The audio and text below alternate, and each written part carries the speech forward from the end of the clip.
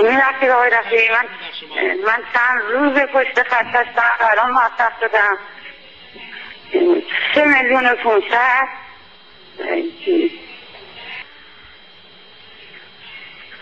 ناقابل حتمی رفته And um, to the 3,500 PMOI members at Ashraf City, Iraq.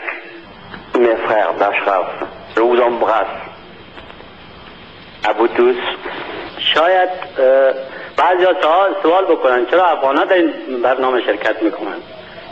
می‌خواستم بگویم مردم افغانستان این را خوب درک می‌کنن درک می‌کنن که رژیم ایران یک رژیم پلید و قده سرطانی منطقه است.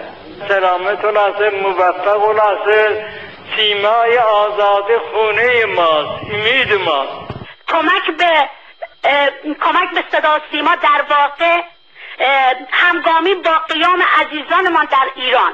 و به امید روزی که تمام اشرفیان رو ما تا تهران بدرقه کنیم. از, طرف همه هواداران اعضای سازمان چریک های فدایی خلق ایران دستمون تا آخرین نسل تا سرنگونی آمنه ای دست تو دست هم هستش. صبحتون بخیر ظهرتون بخیر شبتون بخیر.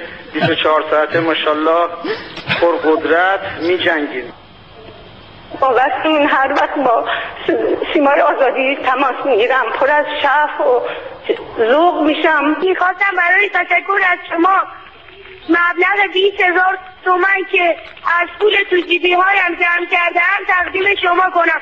من کاپیتان یک تیم فوتبال در سوئیس هستم و می‌خواستم کمک تیم فوتبالم رو اعلام کنم. امیدوارم که آزادی رو توی تهران همه با هم جشن بگیریم این پیروزی رو. و می‌خواستم دویست یورو دویست یورو و یکی از مدالای خودم رو به هدیه کنم. پنجاه هزار تومن از عیدی خودم را به اسمای آزادی تقدیم. از بچه های نه ساله تا پیر و جوان می اومدن و کمک های خودشون رو ارائه می‌دادن. واقعا مایه غرور افتخار ماست.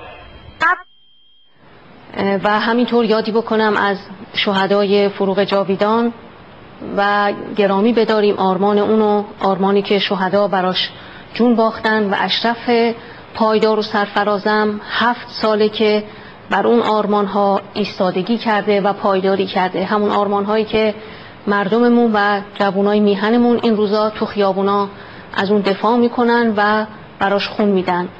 امشب خیلی شب بزرگی و خلاصه خاطر انگیز و فراموش ناپذیر بود. منم از شما فوق العاده متشکر و سپاسگزارم که این امکانو بهم دادید. خیلی ممنون. خیلی ممنون.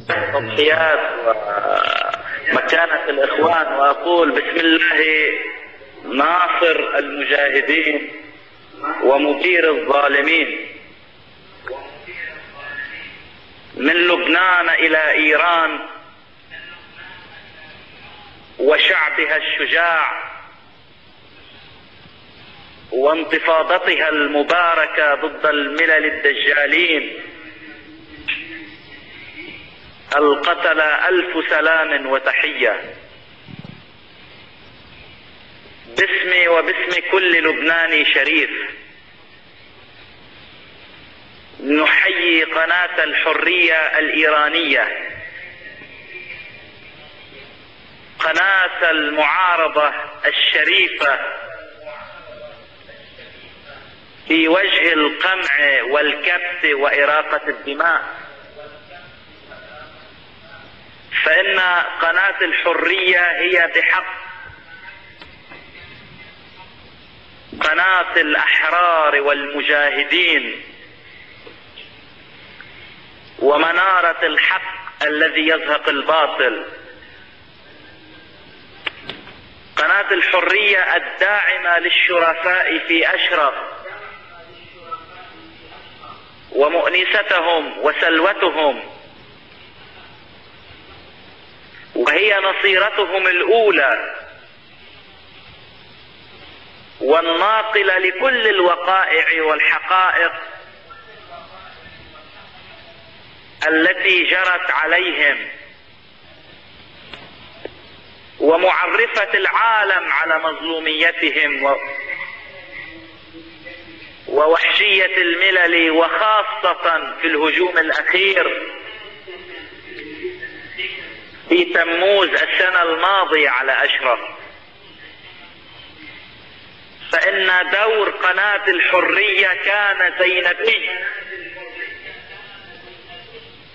أي يساوي دور زينب مع أخيها الحسين في كربلاء؟ فلولا زينب لما عرف الناس واقعة كربلاء ولا استمرت. ولولا قناة الحرية لما عرف العالم جرائم الملل ووحشيته وإرهابه. ولذا أقول بكل صدق وصراحة إن صبر وصمود وجهاد المجاهدين في أشرف أصبح قدوة وحجة على مراجع والعلماء وكل بني البشر وكل الأحرار المظلومين في العالم. إن أشرف اليوم أصبحت قبلة الأشراف وقطب المجاهدين الثوار. وأعطت درسا ليس فقط للإيرانيين بل لكل بني البشر. أن أي جبار يمكن